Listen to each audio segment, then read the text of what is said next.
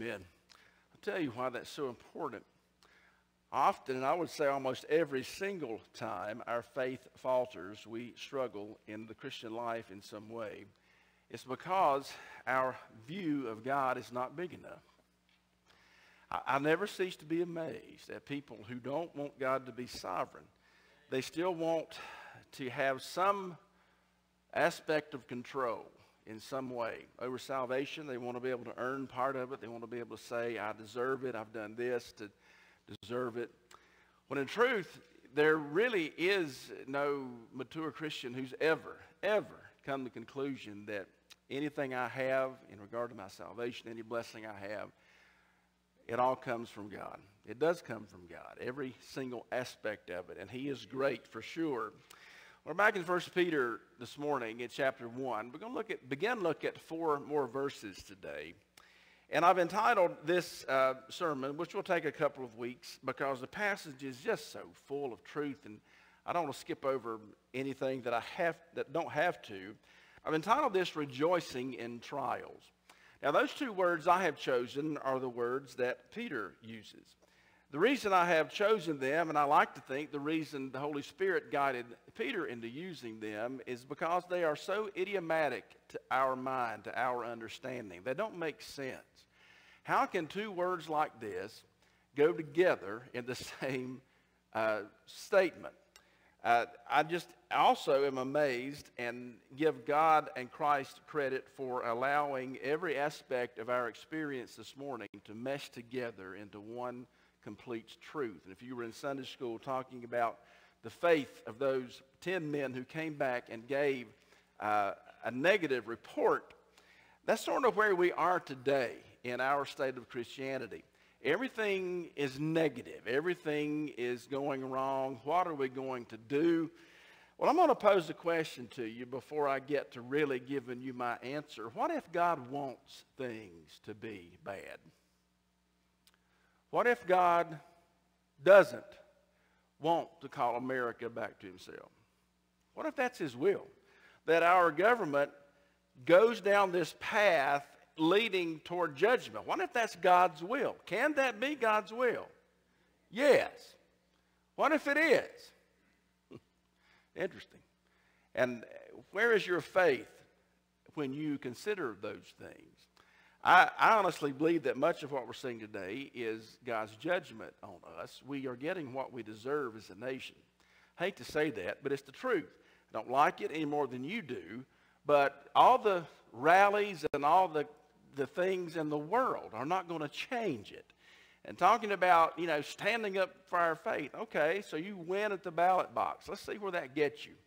Okay, you're going to change the heart of sinful men? No.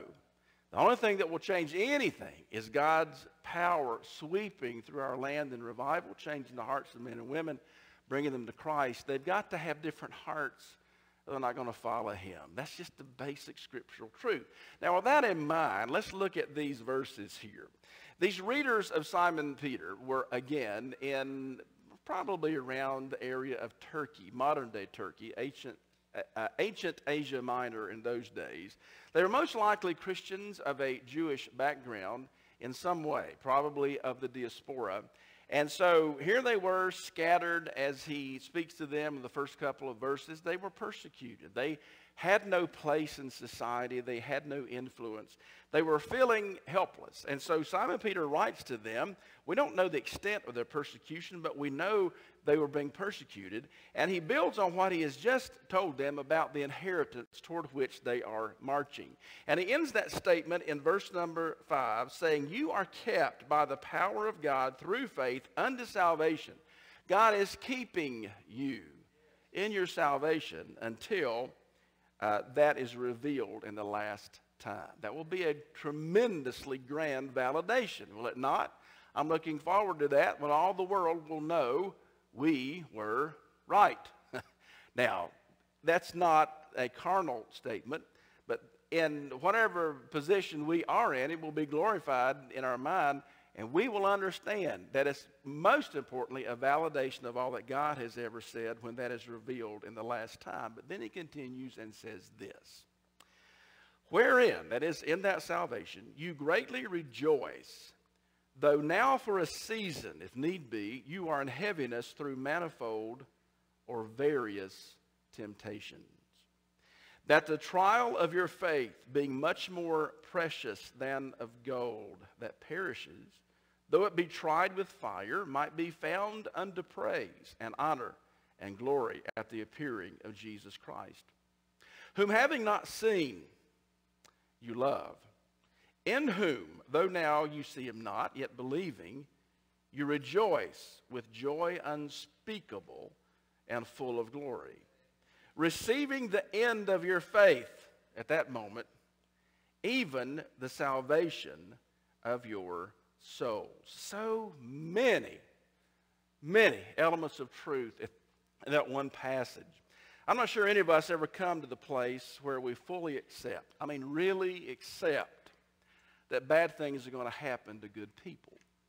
That Christian people who do their best to walk according to God's principles of righteousness, who have trusted in Him, not the troublemakers of society, not the dregs of society, not the ones that pull everyone else down, but those of us who believe we are right because we've trusted in Jesus Christ and we know we are because our faith and agenda is in Him. I'm still sure that we've never really come to terms with the fact that things don't always go our way. As a matter of fact, most often, as we are finding out, bad things do happen. Hurtful people cross our paths. They say things they should not say. They cut us to the quick with their words and their opinions. And, and trying situations always seem to be just around the corner. The stretches of life that do not contain such trials are far too short and they are far and few in between. For most of us, we still expect life to go on unfettered by difficulty. And when difficulty does come, it's always an unwelcome intruder. In truth, however, life is more like a tapestry woven, woven with both good and bad. It's inseparable. You're not going to find anyone who has lived a life without some sort of trouble. Now, there may be a silken thread of joy that runs unfettered for quite some time. We may experience a long period of peace, prosperity in our life, but sooner or later, there will show up a dark thread of grief or despair and of heartache. And we know that it's coming. We should be ready for it to come. But when it comes, if you're like me, all too often we're not ready when it does appear. The thing that makes us different, however, from the world, the world, anybody in the world knows that good things happen, bad things happen. Everybody, you know, they write songs about it. They attribute it to faith. They talk about things like karma, yin and yang, good and bad, you know, all of that kind of stuff. Well, none of those things are found in the Bible. What we know from the Bible is, is that Christians are redeemed people who are living in the midst of a broken, fallen world. We are affected uh, on every hand by this broken, fallen world. We are also affected inwardly by that part of us which is the residue or the residual aspect of our old, broken, fallen person. Now, I point you to that point at the end of verse number 9, where Peter encourages them at the end of this passage and says that though you see him not, you're looking forward to that day, you love him, rejoicing the end of your faith, even the salvation of your souls. Now, he presents that as a future thing. We stand up all the time and give testimony. I thank God for saving my soul. And we could not be more wrong than that. God didn't save. I'm getting persnickety here, and I'm combing with a very fine comb, but I think there's a biblical point here. That aspect of you and me, that soulishness, my mind, my agendas, my motives, my emotions, that aspect that resides in me which is not holy and right and always on par with what God would have me do, God has it, He's not finished with that. That's still in a work in progress. It's called sanctification. Is there an aspect of every Christian that is completely saved and, and set apart and sealed for eternity? Yes. Part of that will, will never change. We are different, but thus we have that tension. I'm looking forward to the day when my soul is completely saved. My mind, my thought process, my emotions, my agenda, my, my uh, motives, all of that is, is saved. But it's not happened yet. And part of the way God is working me toward the completion of that, to when I'm ultimately like Him in my being, both body and soul, is that aspect and that process of sanctification. And so part of sanctification necessarily includes trials. They've got to come. There's no way that you and I will ever become like him and serve his purpose in our life, accomplish his purpose in our life, honor him to the greatest of our ability unless we go through trials. And for the Christian, it's different than the worldling. The worldling is that the world's, um, whatever the world wants to happen in the, in the worldling's life. The lost person is like a ship on that wave being tossed to and fro, no control over anything. But the Christian knows why trials come. We know why God allows bad things to happen. We know why he allows people to hurt us. We know why he allows unjust criticism. We know why he allows circumstances, financial failure. We know why he allows that. And Peter is telling us that here. But such is the tapestry of life as we know it. And that was exactly the kind of life that the readers of Peter's letter had. And he expresses that in these verses. He says, I know what you're going through, but here's how you have to look at it. There's a poem written by an unknown author, and I thought of many of you who spent your careers in textiles back before they left the way they did. But a lot of you know something about weaving. And so I found this, this poem. I think it's very, very apropos to read it right here. And so here's what this unknown author has written My life is but a weaving between my Lord and me. I cannot choose the colors. He works steadily. Oftentimes he weaves sorrow, and I, in foolish pride, forget he sees the upper, and I, the under side. Not till the loom is silent and the shuttles cease to fly shall God unroll the canvas and explain the reason why. The dark threads are as needful in the weaver's skillful hands as the threads of gold and silver in the pattern he has planned. Another author named William Blake put it this way Joy and woe are woven fine. They're inextricable. You can't separate one from the other. The verses before us lend balance to what Peter has just said. He has just left them on a high note. You need to take courage as you're passing through this world because the ultimate inheritance will be glory. The ultimate inheritance will be heaven where there is no sickness, pain, or sorrow. You have that to look forward to. Rejoice, even though, he says, and then he begins this in verse 6. Rejoice at that inheritance, even though getting there will call for our endurance of manifold or various trials. Now, as we go through this passage, I'm going to look at it this way. First of all, today we're going to look at the types of trials the Bible presents. There are several types. Sometimes we refer to trials in different ways. Sometimes I have heard Christians talk about trials that I thought were trials, and other times I have heard them talk about trials that I really didn't think so much. If you have brought, and Peter's going to tell us this, if you bring trials on your own life by sinning, that's not a trial. That's just our mess up. and we still need to learn from that. We create our own trials, unfortunately, at least I have a lot through life. But then there are those things that are out of our hands. Then we'll talk about the testing of trials beginning next week. What is it that God is doing? Boy, some very beautiful language here. And finally, we will talk about the temptation of trials. What is it that every man or woman is tempted to do when God allows trials in their life. But for now, what are the types of trials? I thought this would be helpful to look at these places in the Bible. Not everything's a trial that we think is, but then a lot of things are trials maybe we don't consider. And I think every one of these fits in the context of what Peter is saying. First of all, there are trials of wondering. How, what a beautiful coincidence. Isn't it just a coincidence when you come from one building and you, you have just finished talking about illustration of what the pastor is about to preach on. Isn't that just amazing? And how do I know that? Because the Bible actually says, hey, that's an illustration of this kind of trial.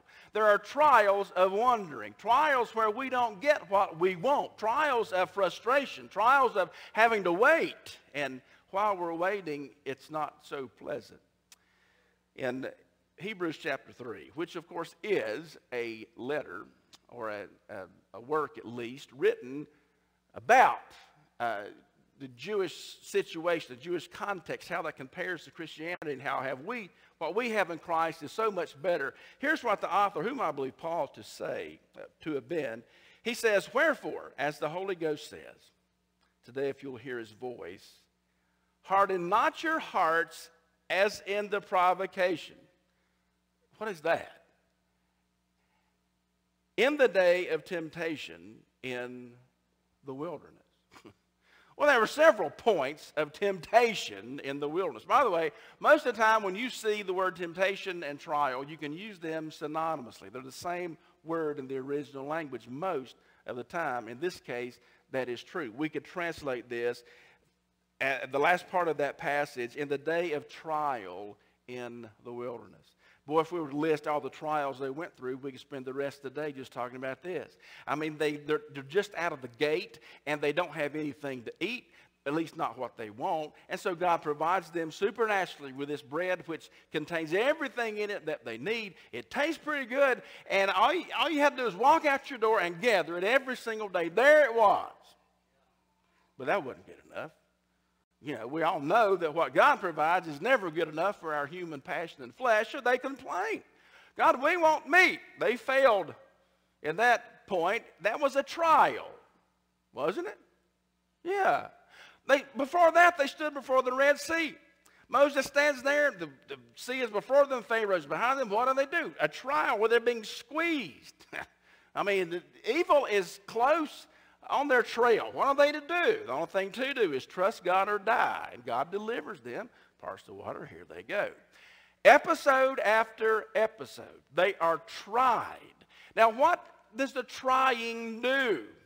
It doesn't show God what they're made of because He already knew. And He still called them. That's amazing. So the next time you fail, pick yourself up off the ground this is no pat, Pollyannish kind of answer. Pick yourself up off the ground. God saved you knowing how you'd mess up. Amen? I need, I need to say that first and foremost. He didn't save you hoping you'd do well. He saved you knowing every weakness you have. That tells us again it's about him, doesn't it? Trials of wondering times of Israel's history being referred to in the writer of Hebrews really was a stretch where they had no home. What was the, the trial of wandering? From Egypt to Canaan. That simple. How long that last? Longer than it should have. How do we know that? Well, if you were in Sunday school this morning, you know. They got to the edge. Moses, you know, I, think God commanded it, but I also think the people wanted to know what's over there. And he makes the mistake of saying, you know, check out the people. Don't ever look at people. Just don't ever look at people. They will let you down every single time. They will intimidate you, disappoint you. Anything imaginable you'll find looking at people. But they did. The report came back, as you know. No, two of them said, hey, we know there are giants over there. We know there are walled cities. We know their people are strong, but let's go. We can do this.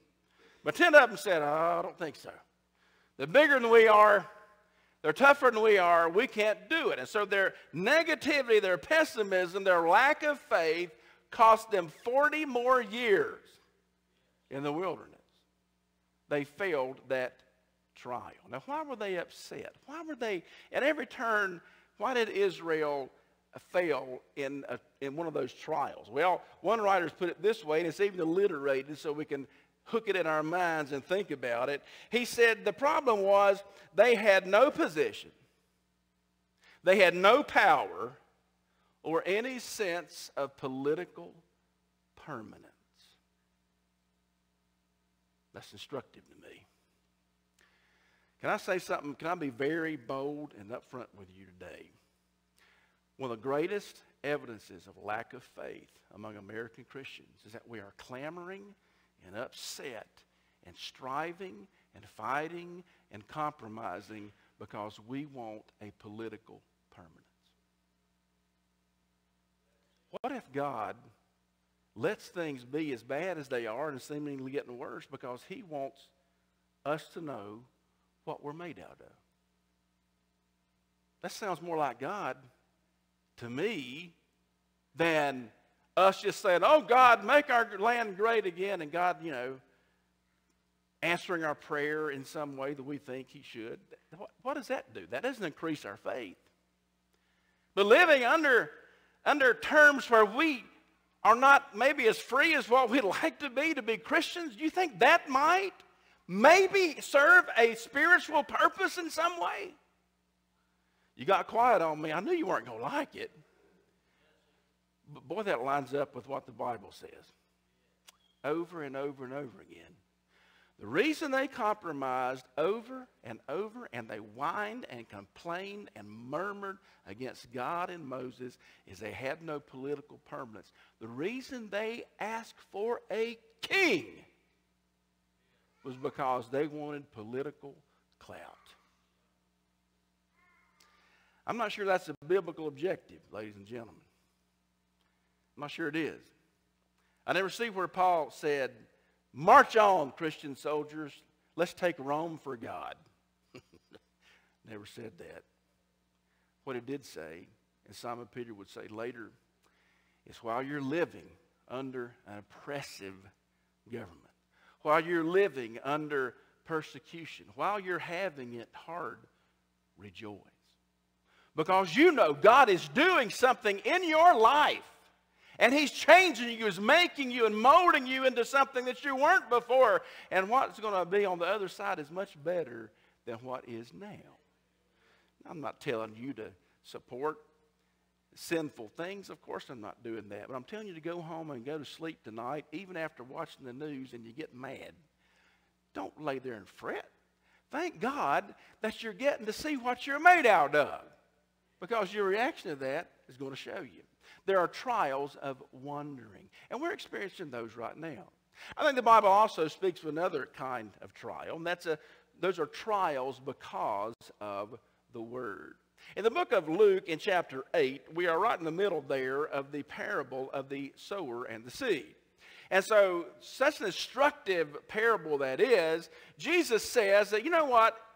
People coming to Christ, people and their allegiance to the kingdom is just like a sower who's sowing seed. Maybe you, maybe you went to the bank and took a loan out and bought some grass seed this year and you put it out. If you get it too far, you know that some of it, most of it, hopefully is going to land in your yard. Some of it winds up on the concrete. If you're smart, you blow it back in the grass. But some of it winds up in the mulch where you don't want it. And it can wind up in your rocks maybe where you don't want it. And so this sower is sowing seed to, for a harvest, a, a, a good purpose. And, and at one of those points, Jesus said this There is some seed that falls on a rock. And they that are on the rock, he said, which when they hear, receive the word with joy. It sprouts. It's, it looks great. It immediately germinates, and people stand up and give their testimony. Thank God for saving me. Which is why, you know, I just don't make, I don't make a big deal. Well, I do, but we shouldn't get overly excited when somebody comes down front or somebody comes to an altar. You don't have a reason to get excited till about six months later or a year. If you walk in two years later and see them having grown and, and prospered spiritually, then praise God. Because you don't know. And Jesus said, Some are like that rock, and when they receive the word, it's all joy, it's great. But they have no root. Which for a while believe. You see this word? In a time, and just let's change that word to trial, because that's what it is. In a time of trial, they fall away. Now, the interesting thing here is that Luke, like Simon Peter, marries the idea of rejoicing and trials. Right? Simon Peter marries it in a sort of a positive context. You who are real Christians have a reason to rejoice in trials. Luke, using Jesus' words, marries joy and trials, but in a negative relationship. And what he does, he says at first there's great joy, but then comes the trial, and they fall away. Now, we, we got to have a little more information. Matthew tells the parable slightly different. It's not that Luke's wrong, he just gives us more details of what Jesus said. In Matthew chapter 13, Matthew records it this way Yet has he not root in himself, but he endures for a while. For when the tribulation or persecution arises, now look at this, because of the word, by and by he is offended. Boy, that, that really homes in on the nature of what real persecution is. We're not persecuted because of high gas prices are we? Some of you act like you are. Right? That's not persecution. Is it? No. No. Now, if they issue an edict this week that Christians, all you who are, who are professing Christians have to pay $5 a gallon, everybody else gets to pay 3 that's persecution. I don't see that happening, but, you know, it's not go, it's not economic stuff, unless it's discriminatory, is not persecution. Matthew said Jesus was very specific. The trial or tribulation came because of the Word. Let me ask you is the conflict in your heart and what fires you up and what gets you in trouble and, and the negativity you feel, is it because of the Word? Or is it just because you don't like the way things are? See, I, I don't think a, most American Christians are persecuted because of the word, because we don't stand up for that. We stand up for very vague things. And I'm a patriot, you're a patriot, we're all patriots here, but listen, that's not persecution. Persecution is on account of the word. What do you mean, Pastor? That you believe the only way to heaven is through the substitutionary, atoning work of Jesus Christ. You believe that, you will have every fired up, leftist type, angry, progressive, agnostic, atheistic person in the world hating you. Because the cross, as Paul would say, is the thing that offends the most. Why? Because the cross says, number one, you're a sinner. There's no need for a cross and a man to hang and die on a cross except you are a sinner. Oh boy. You done offended them now. And then along with that gospel, how it is we're saved. He took our place, all of that. But then comes the moral things, the ways we are to live because we are Christians. Now, if you believe that, you will be persecuted in some way. You'll be countered. You'll be opposed. But real persecution is only because you believe the Word. So the next time you get all up in the wind, you need to ask yourself, am, am I being opposed because I believe the Bible? Or is it for another reason? So trials, because of the word, are a real thing. Number three, there are trials of seeing loved ones suffer. Galatians chapter 4, let me set the context for you here. Galatians chapter 4 is written just after Paul's first missionary journey. First letter of Paul, maybe the first letter of all in the New Testament. That or James, we don't know, but it's close. And so the surprising thing is, is that he's writing back to the churches he had just founded and passed through on his first journey. It would help you at some point to put in your mind these three cities Iconium, Derbe, and Lystra. You get those implanted in your mind, you will understand the book of Galatians and exactly where Paul was writing back. And I'm sure there were some other churches. And he says to them, the theme of that letter is, he says, I can't believe that you so soon, I haven't been gone just a little while, and you've already distorted the gospel. That's what the book of Galatians is about. But here he's getting personal. And so he writes back to them, and when he visited them, some of them, he just left one of those cities where, remember, they thought he was Mercury, the messenger god, because he did all the talking. They thought Barnabas was Zeus or Jupiter. The actual priest of Zeus came out and said, Oh, we're going to offer offerings to you. And Paul tears his clothes and gets all upset, says, What are you doing? We're just men like you are. You can't worship us. And then he preaches the gospel to them. Well, they didn't like that. But then come later these jealous Jews. You ever been persecuted because of jealousy? Jealous Jews because they had stole their thunder in the synagogue. Hey, they didn't made the mistake of letting Paul preach, right? I know his credentials, but you let him preach, you, you, you, mess, you let the bull in the door, you're going to get the horns, right? You let Paul preach in the synagogue, he's preaching Jesus, and most of them don't like it. But he does it every single time. They were so angry they followed him and incited the Gentile crowd to pick up rocks in a Jewish manner and stone Paul. Now, I've never been stoned, never known anybody who has, but my imagination doesn't have to work overtime to figure out what you look like when you've been hit in the face with a bunch of rocks. Amen, Norman? Norman took a little fall the other week and looked pretty bad. I think Yvonne's nursed him back to health. But, you know, you get hit in the face with a rock after a rock. Now, look at what he says. So here's Paul. They think he's dead. Whether he's di- he dies or not, I do not know. They think he's dead. He's that hurt. He gets up and he goes to the next church. Most of us wouldn't have the guts to go any further. We'd have went back home.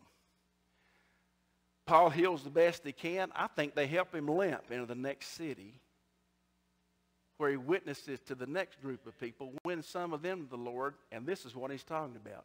You know how through infirmity of the flesh, I preach the gospel unto you at first.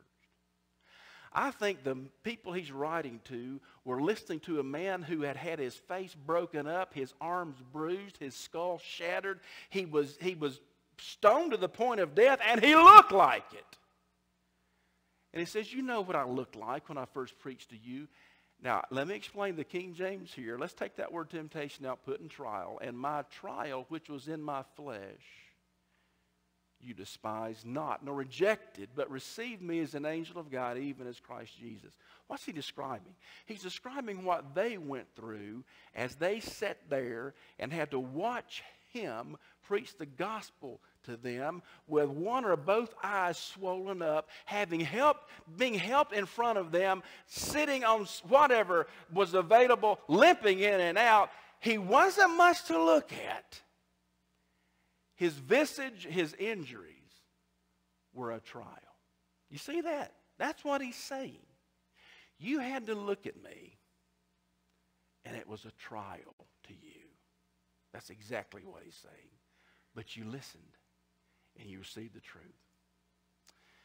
You know, one of the worst trials you and I will ever suffer, ever suffer, is watching loved ones wither and die. This past couple of years has produced some of the worst suffering I've ever seen. I have to tell you, I have no respect for anybody who thinks this is nothing. You're not in the real world. Catch up. People are dying. They're suffering a horrible death. And I have watched their loved ones struggle, powerless at times because of the whole situation. And there's no, what's the answer? Well, the only real answer is Jesus coming back because there is no perfect answer to any of those situations. It is a trial to watch that. Same thing. You know, we're not having our families around, but nothing in the world interrupts life like the reminder that we're all going to die. That's a trial to us. Watching a loved one suffer, watching a loved one die, watching a loved one go through treatment after treatment, any course of action you can describe is a trial. And it's because we live in a sinful world. That parent, that loved one, that brother, sister, that child you know knows the Lord. Why do they have to go through this? There are no answers. Anybody who can give you an answer to that is just making something up. I think the Bible knows, the Bible says that's a trial. Don't let it pass without growing. Then finally, and, and I say that because I know many of you have seen and experienced that same thing this past couple of years and back to five years. Almost all of us in some way or another have experienced that. Then finally, there's a, a final kind of trial I think falls in this category. It's found in Matthew chapter 26 and other gospel presentations. But it's the trial of facing the evil one. Now, the mistake we make is we place every trial in this category. You know, people walk in church. I tell you what, that old devil's been after me this morning. I woke up mad. Well, now, hang on a second. Did you wake up mad or did the devil wake up mad? Or the devil make you mad? How did he make you mad? You mean, no, wait a minute. I don't think that's the devil. I think that's you. That's who you're talking about. It's you. Yeah, but so we blame the devil for everything. You know where I stand on that. And boy, he's, a, he's an evil being, but he sure gets a bad rap for everything. Somebody needs to take up for him, right? No, but you know what I'm saying. But there are times, there are times, and we need to be discerning and understand when those times are, when the trial is caused by the evil one. Now, the devil's, he's a finite being. You can't be everywhere at once. So if you say the devil's after you and I say the devil's after me, one of us ain't got it right because he, he, he can't be everywhere. He's not like God. But he sends his emissaries. Is there such a thing as spiritual warfare involving demons? Yes. Is every trial we face that? No. But there's one place where we know it was. In Matthew chapter 26, verses 40 and 41, and, and he came to his disciples and he finds them asleep. He's in the Garden of Gethsemane. Jesus is fighting a battle with the evil one to the point that, that his sweat becomes as blood dripping off of his face. That's warfare, ladies and gentlemen. And he comes to his disciples, and they're not in the warfare, they're sleeping. And what he's saying to them is an indictment. You have no idea what I'm going through. Why don't you help me pray through this? Which is why when we see somebody going through a true spiritual warfare, we need to pray for them. In that way. Not just in some bland, you know, nighttime statement, but honest to goodness going to battle for somebody else when you discern and you know they are in the midst of a spiritual warfare. Jesus was. And he comes to his disciples and he finds them asleep and he says unto Peter, and I wonder if Peter thought about this when he wrote this first letter. Yep, I knew what it was to be in a trial. I, I went to sleep. He doesn't tell him that, but I imagine he remembered it. And Jesus said, What? Could you not watch with me one hour? Watch and pray that you enter not into trial, temptation. In other words, Satan was working on Jesus, right? He wasn't working on the disciples. He'd already sifted Peter as wheat, right? Made him look bad, made him you know, led him, tempted him to fall. But now Satan's attention is on the Son of God, the Son of Man, the one he knows to be the second person of the Godhead, not knowing exactly what's about to happen, but he's working on him. And Jesus is fighting trial, temptation. He says to his disciples, You need to be ready, praying, prepare yourself so you won't be set upon by this kind of demonic activity. Now, I th- think also that Simon Peter knew exactly what he was talking about. Because you flip over to chapter 5, and I actually have it, I think, next slide, Grady, so they can read it there. You look in verses 8 and 9, he's going to say something. He's going to say exactly, I never had seen this before, but he's saying exactly to them what Jesus said to him. Watch and pray that you enter not into temptation. With that in mind, look at this. Be sober. Be vigilant. Because your adversary, the devil, as a roaring lion, walks about seeking whom he may devour, whom resist, steadfast in the faith, knowing that the same afflictions are accomplished in your brethren that are in the world. These believers, along with every other kind of trial, were going to be attacked by the evil how does he attack us? Oh, I don't have time to explain that. We could talk about it forever. But through families, through people, through circumstances, through any means at his disposal, the attacks of the evil one come upon us. So it becomes clear to me, I don't know about you, but he's not talking about circumstances that are peculiar to just a few Christians. He's talking to circumstances and trials that happen to us. Every one of these categories of trials, which I think are broad categories and cover almost every category in the Bible, we are all subject to them. What's Peter's advice going to be? It's going to be to watch, to pray, to trust, to have faith.